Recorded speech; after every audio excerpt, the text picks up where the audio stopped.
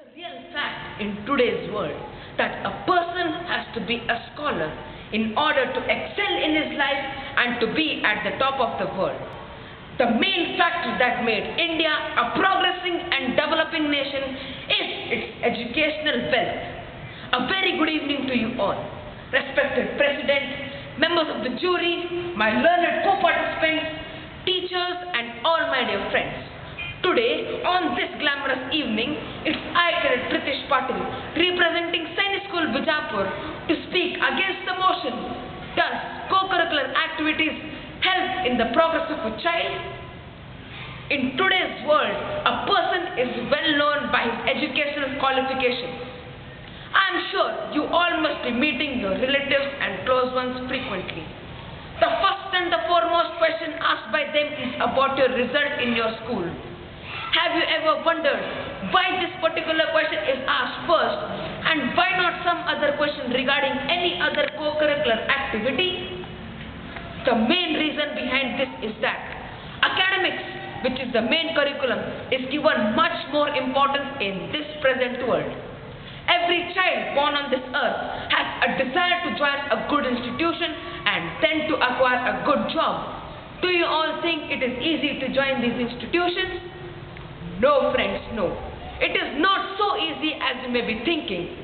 This present world is a competitive world. Students from each corner score incredible and unbelievable percentage in their examinations and moreover, their competition is just in decimals. So friends, you can very well imagine how tough is the competition across the globe. My well-learned opponents say that co-curricular activities help in the future of a child. I strongly oppose this statement because many of these activities develop egocentrism which is very harmful for the future of a child. Because in this present era, a person has to be socially adjusted and friendly in order to live a very happy life. Moreover, some of these co-curricular activities have, have caused some permanent injuries which have made many of the sportsmen totally unfit for the future. My knowledgeable opponents say that co-curricular activities are important in one's life. I vehemently oppose this statement because in each and every school, academics is compulsory, whereas other co-curricular activities are just optional. And if you keep on doing these co-curricular activities, then where is the time to study? Because in this present era, because in this present era, the syllabus is so vast and some subjects are just like ocean. One more aspect about this is that too much of involvement in these activities may make a person to lose total interest in his studies, which is very, very harmful.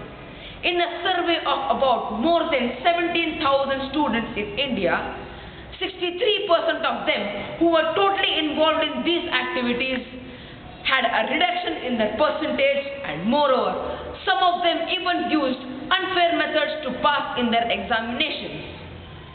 Some of the greatest Indians like C.V. Raman, Jagdish Chandra Bose and APJ Abdul Kalam who have excelled in their life were basically from villages.